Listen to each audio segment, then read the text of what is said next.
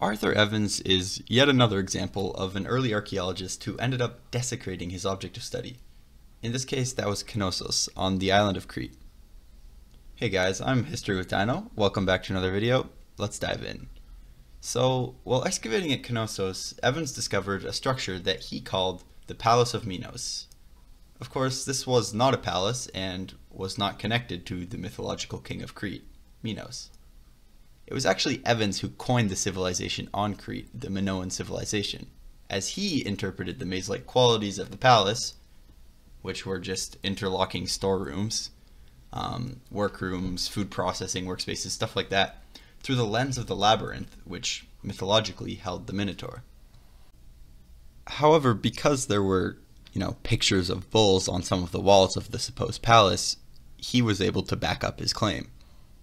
Evans excavated the site from about 1900 to 1930, although he took a little teensy break to accommodate the First World War, and he made all kinds of fun claims with basically no evidence, such as calling a random chair in a central room the throne of King Minos.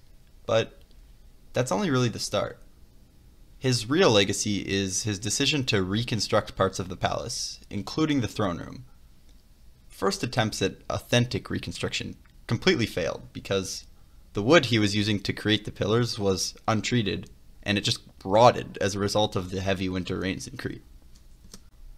Try number two took a different approach and used concrete with iron supports, which was essentially just using early 20th century British construction techniques um, to try and reconstruct a Bronze Age settlement. The final phase of reconstruction took even longer and was the most problematic. It involved a lot of use of iron reinforced concrete and also some creative liberties, we'll call it.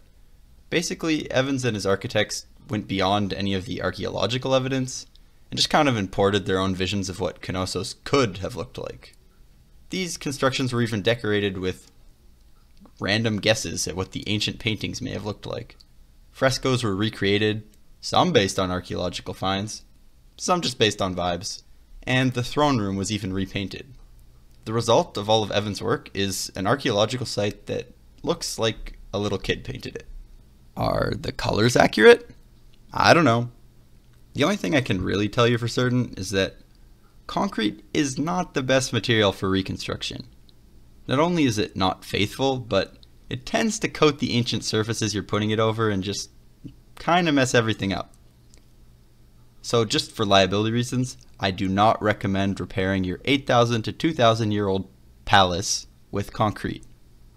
Anyway, now most restoration work um, at the site on Knossos is just trying to fix the damage that Evans did.